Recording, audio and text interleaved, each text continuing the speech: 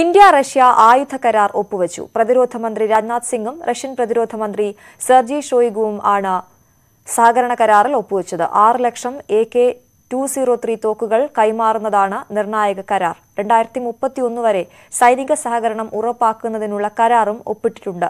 ഇരു രാജ്യങ്ങളുടെയും വിദേശമന്ത്രിമാരായ ഡോക്ടർ എസ് ജയശങ്കറും സെർജി ലാവ്റോവും കൂടിക്കാഴ്ചയിൽ പങ്കെടുത്തു. ഇന്ത്യ റഷ്യ വാർഷിക ഉച്ചകോടിയുടെ ഭാഗമായി റഷ്യൻ പ്രസിഡന്റ് വ്ളാഡിമിർ പുടിനും പ്രധാനമന്ത്രി നരേന്ദ്രമോദിയുമായുള്ള ചർച്ചയും ഇന്ന് നടക്കും. വൈകിട്ട് അഞ്ച് മുപ്പതിനാണ് കൂടിക്കാഴ്ച. പ്രതിരോധം വ്യാപാരം ഊർജം എന്നീ മേഖലകളിലെ ബന്ധം വിപുലീകരിക്കുന്നതിനുള്ള തീരുമാനങ്ങൾ ഉണ്ടായേക്കും.